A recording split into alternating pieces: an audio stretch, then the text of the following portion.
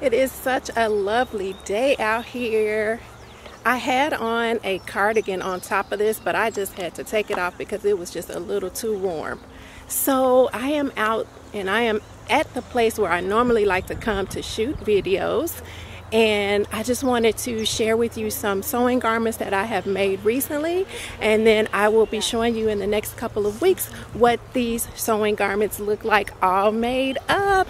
I'm so excited. I have six things to share with you and I have a bag on my shoulder because in the bag I also have some fabric that I purchased recently and it came in the mail so I will be sharing with you what that is and to be quite honest, I can't remember what I purchased. I remember that I purchased something from Vogue. I remember I bought an invisible zipper to go with it. And I kind of think that it's a knit fabric. And I think it's beige because if I remember right, the zipper was a beige. But I waited on this package for so long that I can't even remember exactly what I got. Does that ever happen to you guys? So anyway, I'm going to open it with you and we will discover what it is all together. So when I get to a good place where I can sit down, I will come back and we will get started. Okay, so I found a little bench. All right. So let me start with my fabric. It's just a little piece. It's not a whole lot. I brought scissors. I made sure that I came prepared. Okay. I'm excited. It's like getting a Christmas gift or something. Okay, so let me see what's in here. I hope they didn't forget my zipper. Okay. Oh, it's gray. I was thinking it was beige. Okay, so it is a knit. Oh, they put the zipper in here and it is gray. Both of the pieces are gray. I could have sworn I bought something beige.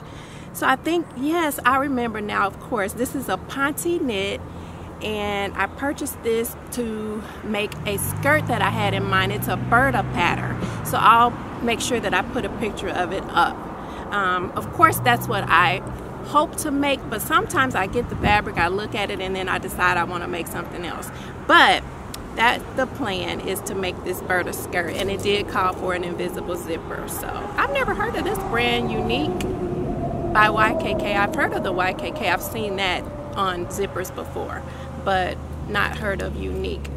So anyway, that is my fabric. They put a label in here. Let's see. Not a label, but a little um, piece of paper and invoice telling me what I ordered. So I wanted to make sure that it's Ponte. Yes, it says Ponte Roma. Yeah, that's what I remembered. Okay. All right. So that's that. So now I brought my clipboard and I have six patterns that I have made recently that I will be sharing. So it's one skirt, one bodysuit, two dresses, and two jumpsuits. Okay, so what one of them is is McCall's 8066. I made the short skirt that is shown in gingham. So I made view A and for this garment I used scraps. But it won't look like I used scraps so when you see it you'll know what I mean. Okay, so the next one is Butterick 6677 and I made view C, which is the sleeveless dress in the middle.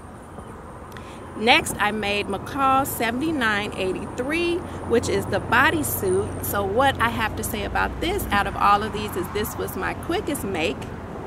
The next one is McCall 7394. So I made the jumpsuit in view B. And I would say out of all of these that this is my most comfortable make.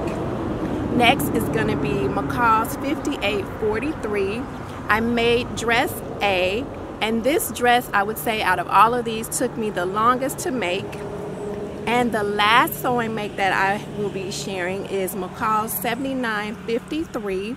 I made this jumpsuit which has an overlay in the front and I made view D which has the ties on the side. So yes, I'm excited to share with you over the next coming weeks what these garments look like all sewn up. And before I go, let me leave you with a love share. So my love share is that in Milan, Italy, you are legally required to smile at all times except at funerals or hospital visits. Can you believe that? That is just so, so interesting to me. All right, you guys. See you soon. If you enjoyed this video, I would love to know. You can click on the little thumb that's sticking up below.